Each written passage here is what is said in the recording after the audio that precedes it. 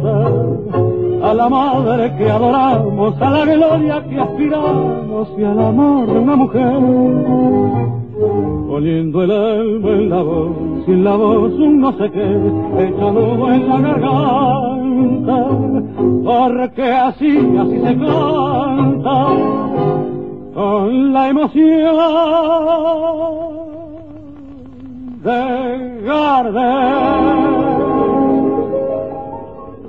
Sí, amigos, como dice Enrique Campos, así, así se canta, con la emoción de Gardel. Las voces del tango en vivo. Y hoy, amigos, volvemos a escuchar al amigo Julio Sosa, esta vez en un reportaje que le hicieron en Radio Mitre en el año 1963, donde se refiere al tango y a los cantores, vertiendo opiniones que compartimos. El anterior reportaje del año 58, emitido en la audición anterior, número 42 de las voces del tango, lo podés escuchar en nuestro grupo tanguero en Facebook, Buenos Aires del 40. Y ahora escucha al amigo Julio Sosa.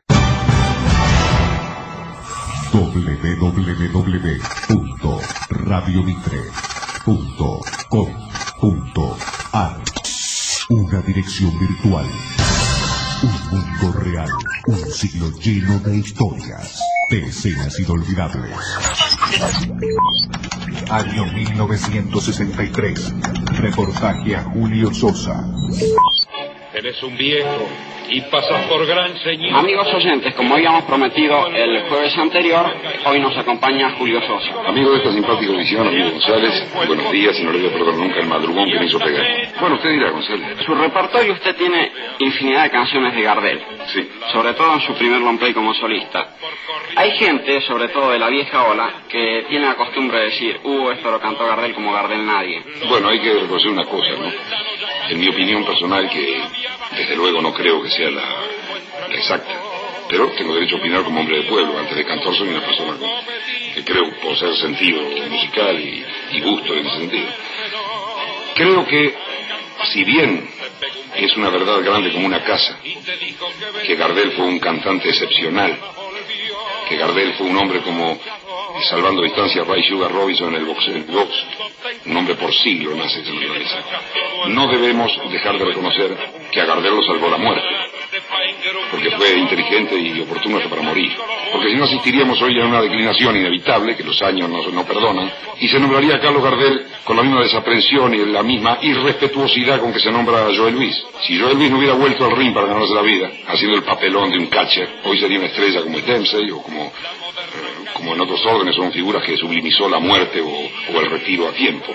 Pero yo creo que el gran público debe condenar a los cantores que interpretan el repertorio de Gardel cuando tratan de acercarse a Gardel, cuando tratan de usurpar una personalidad que no hace sino perjudicarlo, porque un tipo que imita a Gardel hace que nombren a Gardel. Por eso creo que es tan importante como las condiciones de un cantante o de un artista de cualquier género la personalidad, imponer un estilo, no parecerse a nadie.